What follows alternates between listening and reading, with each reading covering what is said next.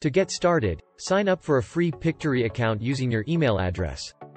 Once you've set up your account, you'll have access to Pictory's powerful video editing tools and features. Focusing on script to video, this feature provides a seamless way to convert your script into engaging video content. This feature breaks down sentences into individual scenes, allowing you to choose specific visuals related to each scene. Pictory offers a range of customization options, such as custom intros and outros in the branding section.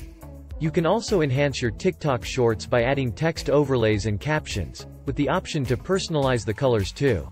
Experiment with different styles and templates by clicking on the palette icon in the Styles section.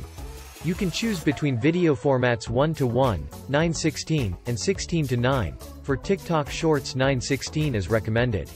Pictory also offers a range of voiceover styles and a vast library of background music tracks. Consider the tone and mood of your background music.